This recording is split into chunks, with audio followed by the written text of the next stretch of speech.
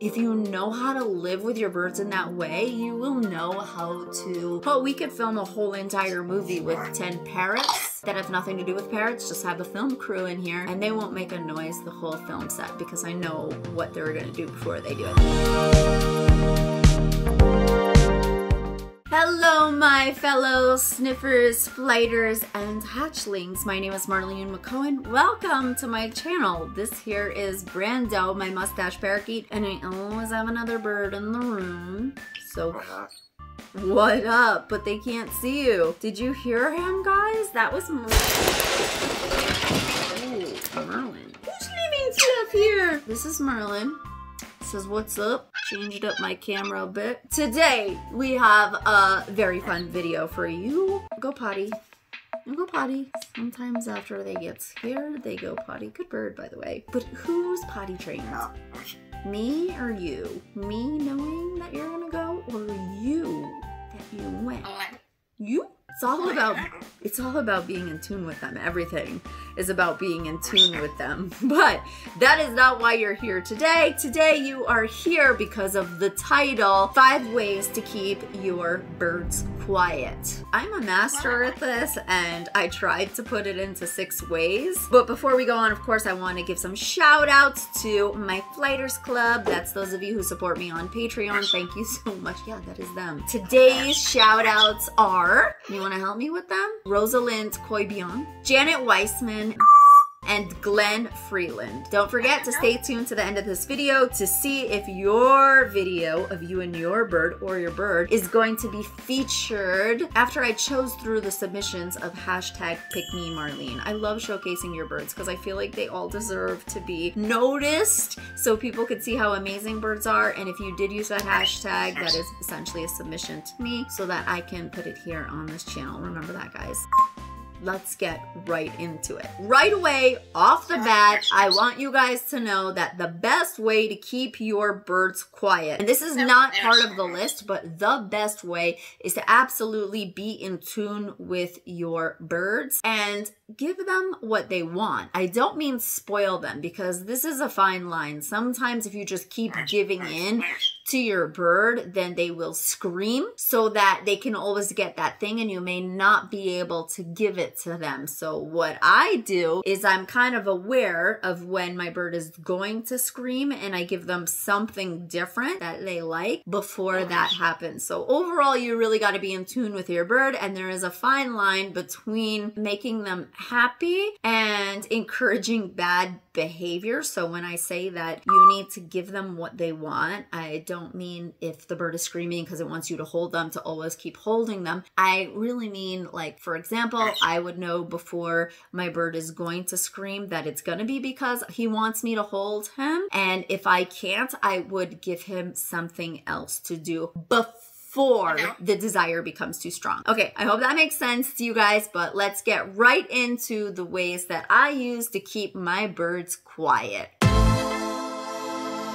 And I'm kind of proud of this, but most people come into my house and they're kind of shocked by how quiet my birds are. It's pretty impressive. The first and most important thing, honestly, guys, is number one, to keep your birds well fed, okay? You see this? This is the little crop right here because Merlin is a plucker. And by the way, he has a rescue story. You guys could go back and watch.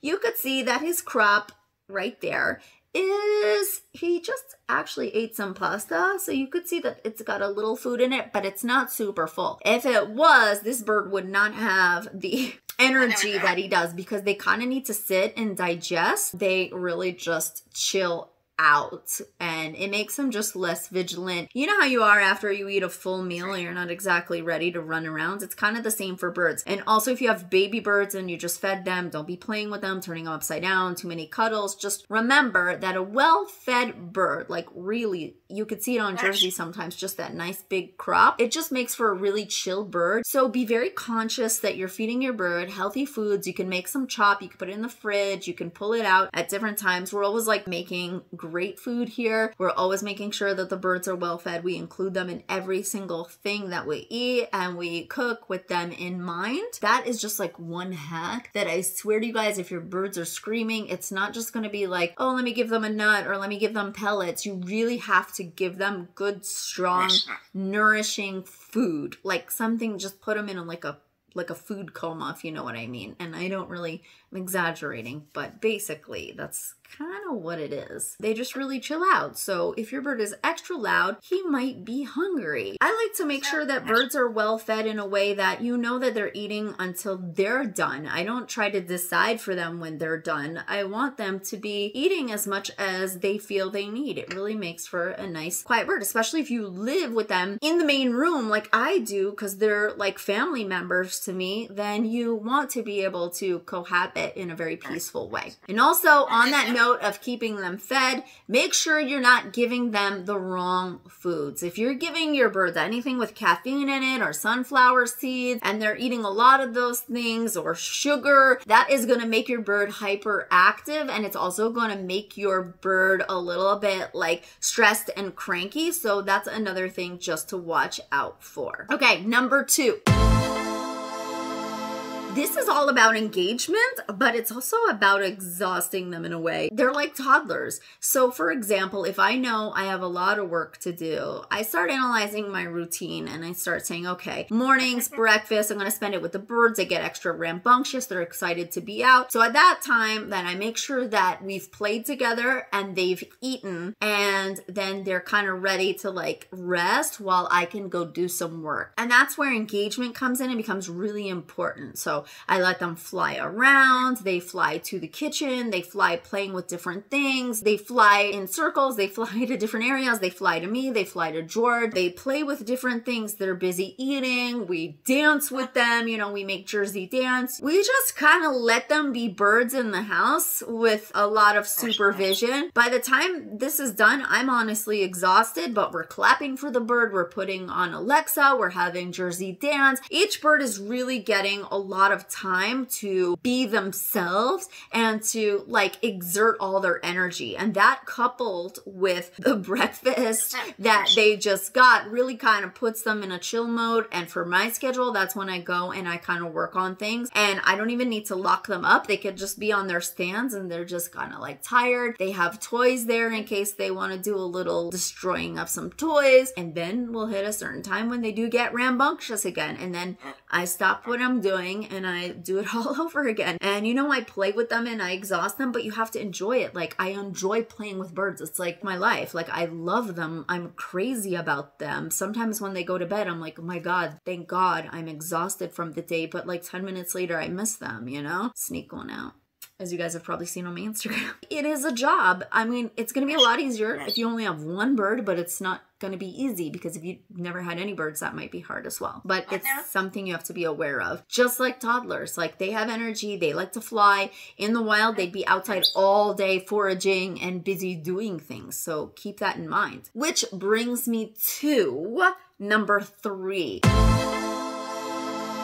having an outdoor aviary is a really nice thing. You know how it is when you go hang out by the pool or the sun all day, you're kind of like tired or chill and you just get relaxed mode. It's the same for birds. I have my outdoor aviary. None of them sleep out there. They're only out there a few hours a day, but they get some nice vitamin D from the sun. If it's too hot, they have the misters and they enjoy, they just enjoy the vibe. We have speaker system up there where we play nice music for them. It's really helpful to have an outdoor aviary because you want birds to be able to get sunlight and experience the wind and the air and watch the other animals. That can be entertaining for them in itself, just like watching squirrels and other birds fly. The birds really do like that. They have to be a little bit vigilant, but not so much because obviously they're protected in the aviary. And of course, you cover it with toys and lots of enriching things for them to do. And when you do that, it also tires them out and also may give you a little little bit of a break to go in and get some work done. So if you want to incorporate that into your routine, but it does take a little more work for me because I obviously have to go and make sure that all their bowls are refreshed and clean. And that's like a whole nother process that I have to do. And then also bring them snacks out in between all of that, cut up fruits, vegetables, all sorts of other things in between. But it is a nice break from any noise. And especially when the misters go on, if it's a little hot, we're here in Los Angeles, that helps a lot too. They just like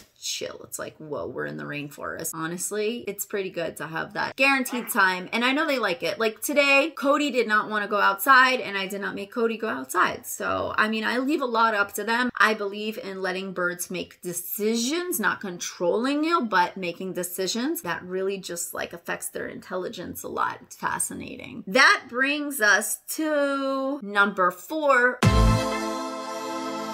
establishing a routine. When you have a oh routine like that, and by the way, I don't believe 100% in the routine being so strict that like you can't have a different day where I'm on a movie set and that's not going to happen for them. Like, I do believe in shaking things up and them getting used to it because, like, you don't want them to succumb to like plucking or something if things change. As routine as we are, we're so not routine, but establishing a little bit of routine in the house is very good for them to understand oh, this is my nap time, this is my play time, this is my eating time. And if you have a lot of control over that as a whole and being in tune with them helps, you know, helps guide you, then you'll be able to fit in the things that you need to do around entertaining them, hanging out with them. Because again, obviously, the first word in engage, not cage, is engaging with your birds. So that engagement is very important. But also, I believe in being able to cohabit with your birds in a way that if you aren't personally engaging, they don't have to be locked up. Toys,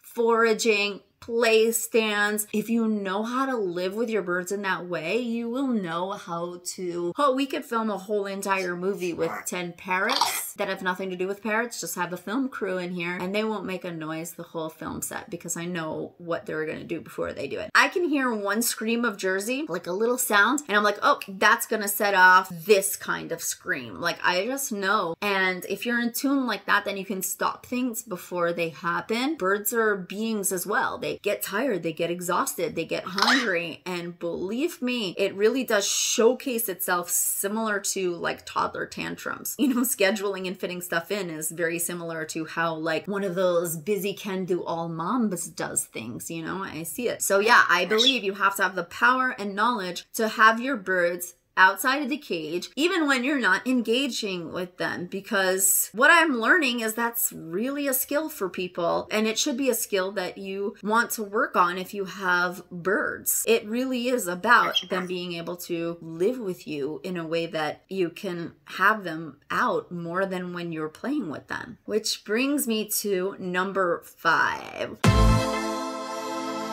have a lot of toys and foraging things for your birds to play with. That is everything from toys to food to foraging materials. A lot of people are extremely scared about creating nesting situations for your bird. If your bird has issues with those kind of things, then that's a different story. But if you have a healthy bird and you see that they're playing with certain things in a certain way and it's keeping them extremely busy, that will one keep them very, very quiet and also keep them very, very busy. It's foraging. It's what birds do all day in the wild. We want to take away so much from them. We want to take away their wings. We want to say, you can't fly, but not only can you not fly, but you can't nest. So let's take away that because we're human beings and we don't know how to handle in case you were to have egg binding because we took away your flight on, on the flip side. So like, I just believe in trying to work around birds' natural behaviors. I mean, if your bird has a problem with certain things, then of course, you know, make sure that your bird is under vet care. But if your bird is a very nice, healthy bird, then yeah, find things for your birds to do that they can engage in. If you find that your bird is destructive, let's say your bird is destructive and destroying something, find something similar to that to entertain your bird with. So it's like, my bird doesn't play with toys, but he destroys my books. Okay, so maybe get out the old telephone book and put it on top of the cage. These are just kind of little ideas. So I always look at what what it is that they're destroying and I try to find something similar to it to entertain them. That's why I keep a variety of toys around. A lot of people say my bird doesn't play with toys, and that may be true. But Leo did not play with toys, and now he's starting to play with toys, all because I gave him like the cardboard from the cat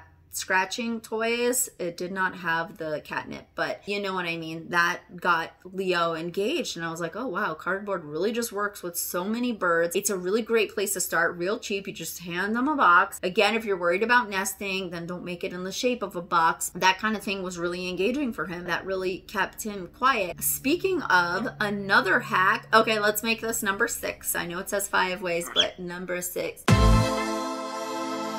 If you are able to handle your bird in a box and they're not getting too aggressive, I make kind of like tents in the kitchen for Cody. And I'm just like, here, hang out in your tent. And then Cody disappears with toys in the tent for literally like four hours and just keeps herself engaged and quiet. She never gets aggressive towards me. Same with Merlin. Merlin guards things. They kind of fight over the same spot. But I created those things because I saw it's what they're reaching for. And so I wanted to give them what I feel like they're naturally looking for. And that will help you a lot with them being quiet. So yes, this is now six ways to keep your birds quiet.